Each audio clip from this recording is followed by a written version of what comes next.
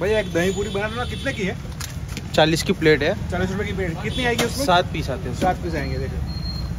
ये देखिए कितनी बड़ी बड़ी पूरी है और पूरी भी देखिए एकदम सॉफ्ट और कलर भी देखिए उसका। ये मसाला ऐड हो रहा है आलू और चने का। वाह ओहो बहुत बढ़िया।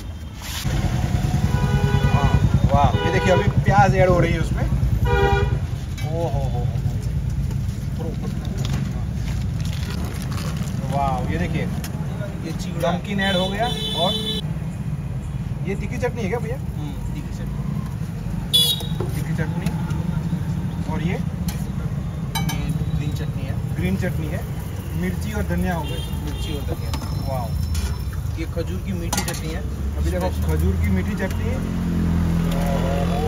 वाह थोड़ा मीठा बनाना भैया। हम्म, बस। गुजरातियों को मीठा बहुत पसंद है। हाँ। ये भैया क्या है? ये मसाला है। मसाला चाट मसाला वाह।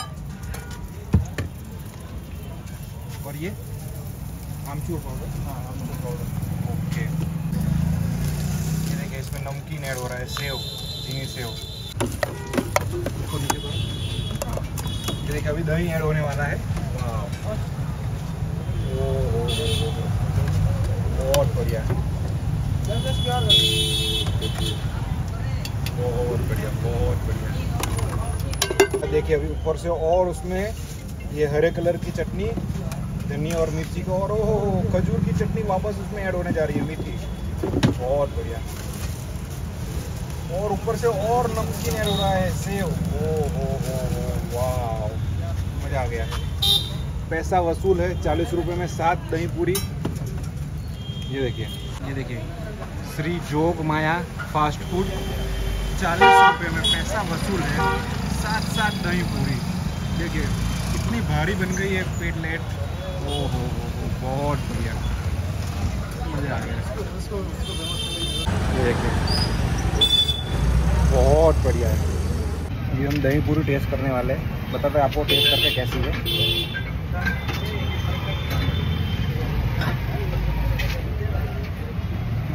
बहुत बढ़िया दही पूरी है। मज़ा आ गया। आप बाहर में रहो तो ये दही पूरी ज़रूर टेस्ट करना।